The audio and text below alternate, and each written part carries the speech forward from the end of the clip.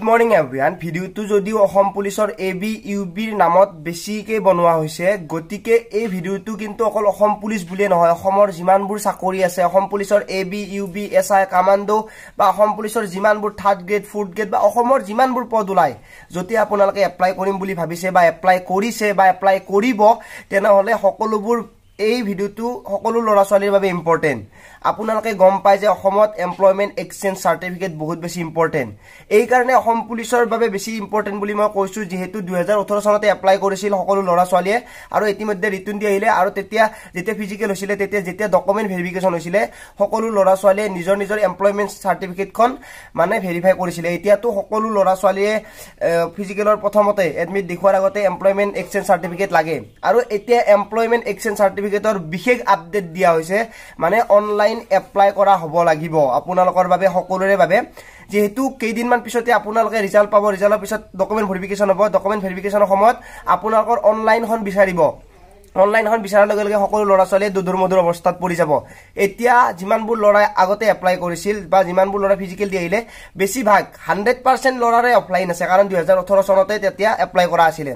এতিয়া একত্ৰিছ মাৰ্চ তাৰিখে আছিলে লাষ্ট ডেট আপোনালোকে লাষ্ট ডেটটো শেষ হৈ যোৱাই বহু ল'ৰা ছোৱালীৰে হাকাৰ লাগিছে বহু ল'ৰা ছোৱালীয়ে মোৰ তাত কমেণ্ট কৰিছে। এইবাবে ভিডিঅ'টো বনাইছোঁ আপোনালোকক গোটেইখিনি কথা বুজাই দিম। যাৰ যাৰ হাতত অফলাইনখন আছে আপোনালোকে পইণ্টকেইটা মনত ৰাখিব। যাৰ যাৰ হাতত অফলাইনখন আছে সেইখন কিন্তু পেলাই নিদিব। সেইখন কিন্তু আপোনাৰ বহুত বেছি দৰকাৰ হ'ব কাৰণ ইতিমধ্যে আপোনালোকে সেইখনৰে এপ্লাই কৰি আহিছে। যদি আপোনাক সেইখন বিচাৰে তেতিয়াহ'লে আপোনালোকৰ বেছি প্ৰব্লেম হ'ব পাৰে। সেইখন কিন্তু বহুত ভালদৰে ৰাখি থৈ দিব। এতিয়া আপোনালোকে অনলাইন কৰিব যে লাগিব একত্ৰিছ তাৰিখ আছিল লাষ্ট ডেট মানে যিমানবোৰ ল'ৰা ছোৱালীয়ে অফলাইন কৰিছিলে সেই অফলাইনখন অনলাইন কৰিব লগা হৈছিলে। মানে আপোনালোকৰ অনলাইন আগতে আছিল সৰুকৈ এখন ৰিচিপ্ট এতিয়া অলপ ডাঙৰকৈ হৈছে নাম্বাৰটো অলপ বেলেগ হৈছে আপোনালোকে অনলাইন কৰাৰ পিছত গম পাব। এতিয়া যে আপোনালোকৰ ডেটটো পাৰ হৈ গৈছে কি কৰিব? সেইটো এটা ডাঙৰ পইণ্ট বহু ল'ৰা ছোৱালীৰে হাকাৰ লাগিছে। এতিয়া আপোনালোকে কৰিব লাগিব নতুনকৈ ৰেজিষ্ট্ৰেশ্যন নতুনকৈ ৰেজিষ্ট্ৰেশ্যন কৰোঁতে আপোনালোকে নতুনকৈ এখন শ্লিপ পাব। সেই শ্লিপত আপোনাৰ যিটো এমপ্লয়মেণ্ট এক্সচেঞ্জ চাৰ্টিফিকেটৰ নাম্বাৰ থাকিব সেইটো বেলেগ হ'ব। যিহেতু আপোনালোকে ৰেনু কৰিব নোৱাৰিলে মানে আগৰখনক আপডেট কৰিব নোৱাৰিলে ডেটটো পাৰ হৈ গ'ল। সেইখনো আপোনালোকৰ লগত ৰাখিব। এই সেইখনো আপোনালোকৰ লগত ৰাখিব ৰাখিব। যিহেতু নতুনখনো আজিকালি ইম্পৰ্টেণ্ট হ'ব। এতিয়া যদি আপোনালোকে ফিজিকেল দিব যায় বা আপোনালোকৰ যদি কিবা ডকুমেণ্ট ভেৰিফিকেশ্যন হয় নতুনখনে বেছি ইম্পৰ্টেণ্ট হ'ব। কাৰণ নতুনখনে আধাৰ কাৰ্ড ভেৰিফাইড বুলি বা আধাৰ কাৰ্ডৰ দ্বাৰা বহুতে এপ্লাই কৰিব লাগিব বুলি সকলোৱে গমেই পাইছে। আধাৰ কাৰ্ডৰ নাম্বাৰেৰে আপোনালোকে এপ্লাই কৰিব লাগিব বা উইথাউট আধাৰ কাৰ্ডেৰেও আপোনালোকে ৰেজিষ্ট্ৰেশ্যন কৰিব লাগিব বা কৰিব পাৰিব। এতিয়া কথাটো হ'ল যাৰ যাৰ এপ্লাই হোৱা নাই যোনে যোনে অফলাইন এপ্লাই কৰাই আছিলে এতিয়ালৈকে অনলাইন কৰা নাই তেওঁলোকে নতুনকৈ এপ্লাই কৰি লওক। আৰু পুৰণাখনো আপোনালোকৰ বাবে ইম্পৰ্টেণ্ট নতুনখনো ইম্পৰ্টেণ্ট নতুনখনটো বেছি ইম্পৰ্টেণ্ট কাৰণ নতুনখনৰ মতে এতিয়াৰ পৰা ষ্টাৰ্ট হৈ যাব। নতুনখনে ভেৰিফাই কৰিব লাগিব নতুনখনতে আপোনালোকৰ চব বুজি পাব। কাৰণ এতিয়া মানে অনলাইনৰ জামানা আজিকালি নাম্বাৰটো বহাই দিয়াৰ লগে লগে চব বস্তু ডিটেইলছ ওলাই যায়। আৰু আধাৰ ভেৰিফাইড এইকাৰণে কৰা হৈছে। আধাৰ কাৰ্ডত যিহেতু আপোনালোকৰ এড্ৰেছ প্ৰুফ গোটেইখিনি ডিটেইলছ দিয়া থাকে।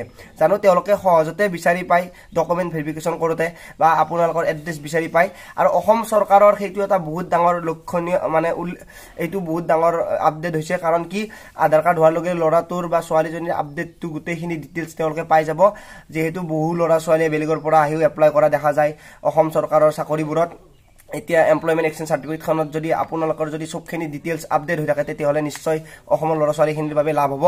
যিয়ে নহওক সকলো ল'ৰা ছোৱালীয়ে অসম পুলিচৰ এ বি ইউ বি যিসকলে দি আহিলে ৰিটাৰ্ণ দি আহিছে তেওঁলোকৰতো ভেৰিফাই হ'ব কেইদিনমান পিছত। গতিকে আপোনালোকে এপ্লাই কৰি লওক অনলাইন যোগে নতুনকৈ ৰেজিষ্ট্ৰেশ্যন কৰি লওক। আৰু আপোনালোকৰ পুৰণাখন কিন্তু ৰাখি থৈ দিব সেইখন কিন্তু মাষ্ট বি অসমৰ যি চাকৰিয়ে নহওক গ্ৰেড ফ'ৰ গ্ৰেড থ্ৰী যিমানবোৰ ডিপাৰ্টমেণ্ট আছে গোটেইবোৰ ডিপাৰ্টমেণ্টৰ বাবে এতিয়া আপোনালোকৰ অনলাইনখনে বিচাৰিব গতিকে আপোনালোকে ৰাখি থৈ দিয়ক আৰু সকলোৱে নতুনকৈ ৰেজিষ্ট্ৰেশ্যন কৰক। আজিলৈ ইমানে পুনৰ লগ পোৱাৰ আশাৰে মই জিতুমণি জয় আই অসম।